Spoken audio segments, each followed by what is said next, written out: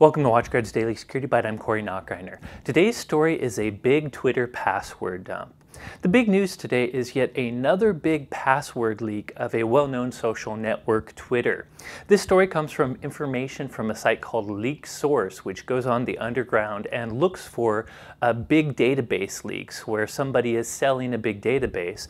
And most recently, they found attackers selling a Twitter database that had over 32 million records in it. Now, these records contain things like your Twitter username and email address and your clear text password In fact, this likely did not happen because of any sort of Twitter network hack. In many cases, password leaks are because some bad guy directly gets the database of the site that has all these passwords. But in those cases, the passwords most likely are going to be hashed and protected in some way. In this case, the 32 million records has clear text passwords. In some cases, even very long, complex passwords that would have been near impossible to crack.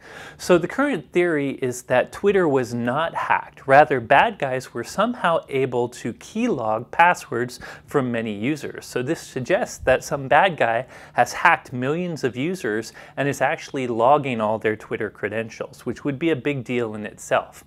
Now of this list, it seems to mostly affect Russian Twitter users. There are a number of addresses there. Some are government addresses, but there seems to be a big majority in Russia. So this could be malware that's spreading very well in Russia. So you probably want to know what to do about this if you're a Twitter user. Well, the good news is since this isn't a full Twitter database leak, not all users are affected. So I don't recommend you immediately go change your password. This will probably only affect you if you're someone that has had malware on your computer and maybe has had your password keylogged.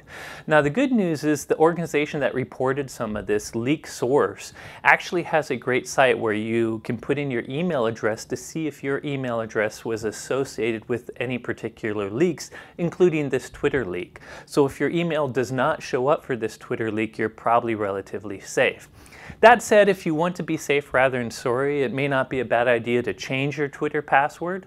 More importantly, make sure it's not the same password you use everywhere else. But one of the things I highly recommend, whether or not you change your password, is to use Twitter's two-factor authentication.